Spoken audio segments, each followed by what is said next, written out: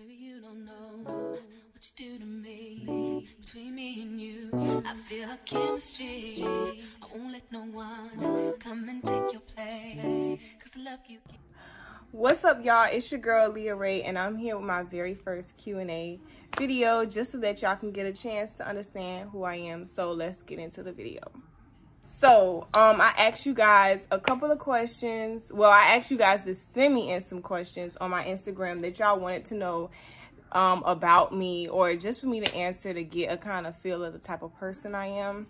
And I got a few questions right here that I'm going to answer. So, um, the first question is, what do I do for fun? I would have to say what I do for fun is probably eat, sleep, sing, um, and be on FaceTime with my homegirls. That's all I do.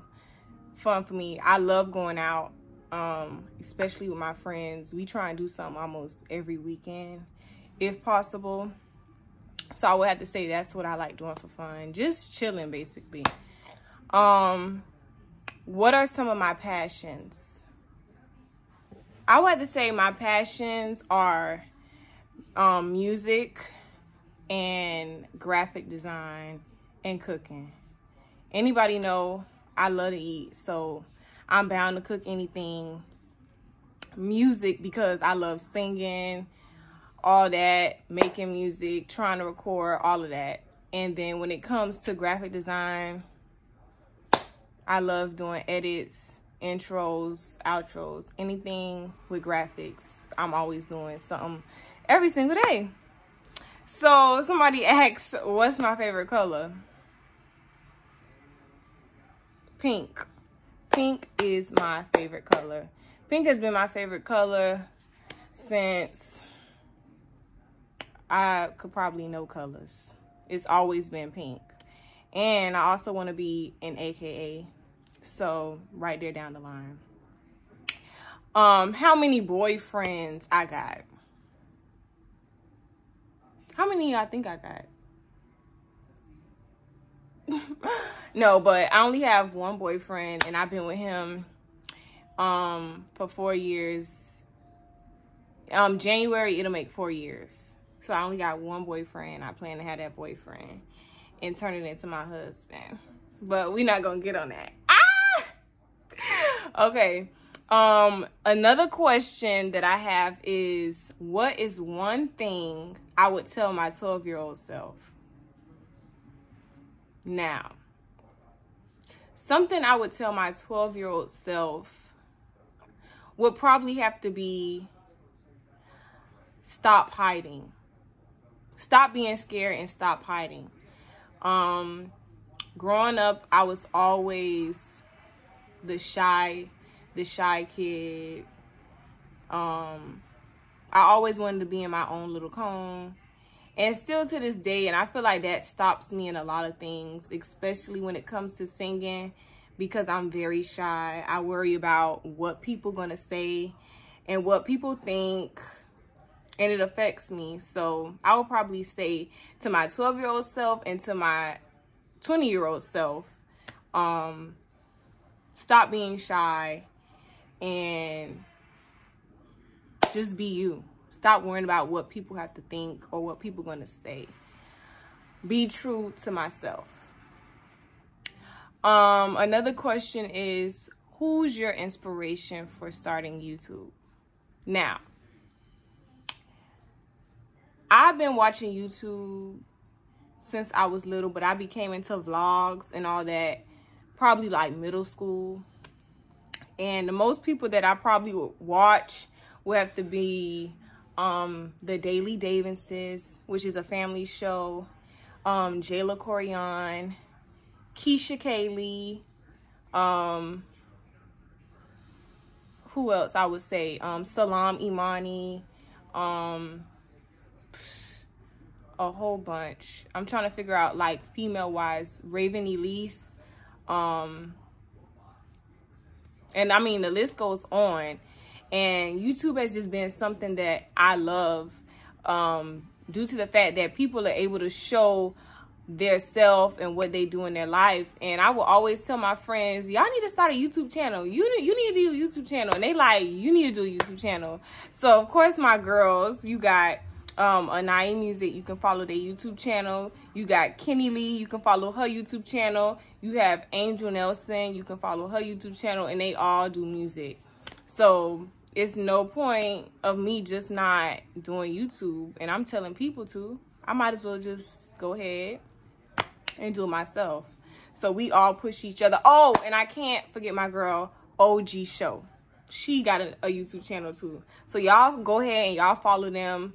And yeah, um, look out. Maybe you'll see a couple of collabs here and there. So yeah, that's my inspiration of following, doing YouTube. Uh, I get this question all the time all the time. You know what? No, I'm going to leave that question for the end. Because I feel like this YouTube channel is going to take y'all through the journey for this last question. But this question someone asked me, and I feel like it's a good question, especially for people who's also experiencing it and sometimes may have a conflict.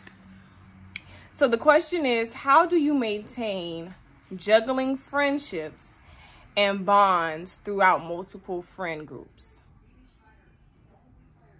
So this question I feel like is very good due to the fact that I am in a girl group, but I do have friends that's outside of a girl group.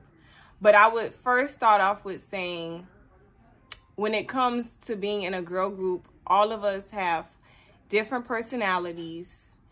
Um, different i don't want to say we all trying to do the same career but i would say um different genres so i feel like because we all are different when we all put together we're just amazing and i feel like um basically i i made my own relationship with each and every one of them personally and it just became that we became a group. So i would first say to maintain it's first start off with respect. Because everybody needs to know what hurts this person feelings um what's a touchy subject for this person. I just feel like see it's kind of hard because we all just fit in together and it just seemed like we just fit but i would first say to maintain it i feel like it's just different because for one friend, I make him go to this friend for one thing. For another friend, I could have a conversation about this, or I make him do this with this friend, this outing.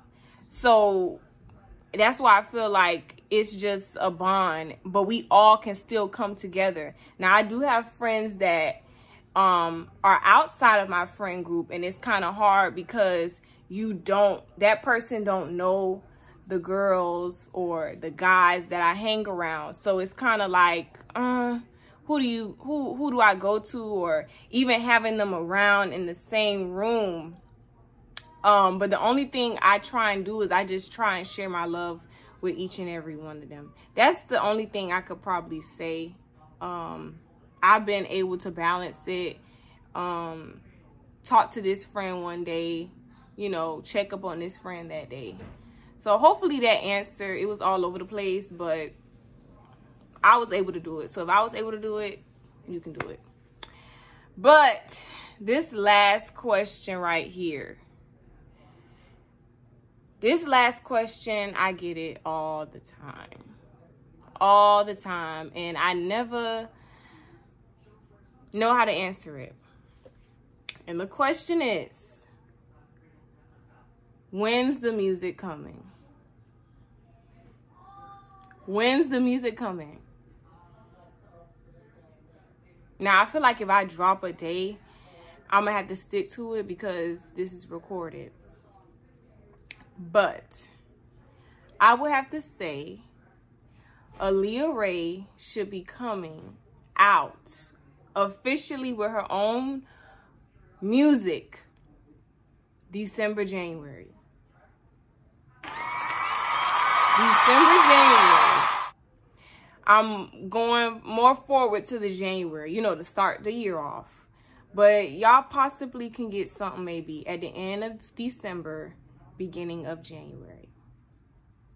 And if I don't, then y'all can be on my case. But that's the goal that I'm pushing for. In of December, the beginning of January. That is uh, spring summer. Okay. September spring shows spring summer. Y'all will have exclusive, well, a single from Aaliyah Rae. And it's coming from me. Y'all will get a single by the end of December, beginning of January. So for everybody that's asking, that's the answer to y'all question. So um that's the end of my Q&A. Um I eventually do another one of these for a little update, but these are some of the questions that I answered. Um some of them was a repetitive question worded differently, but these are the ones that stuck out to me that I wanted y'all to get an answer to. So I want y'all to like, comment, and subscribe. And just follow this journey with me um doing the music so that once it come out in January y'all could see the struggle the pain that I had to go through to put this single out. So I want y'all to like comment and subscribe and look out for the next video. I'm out out.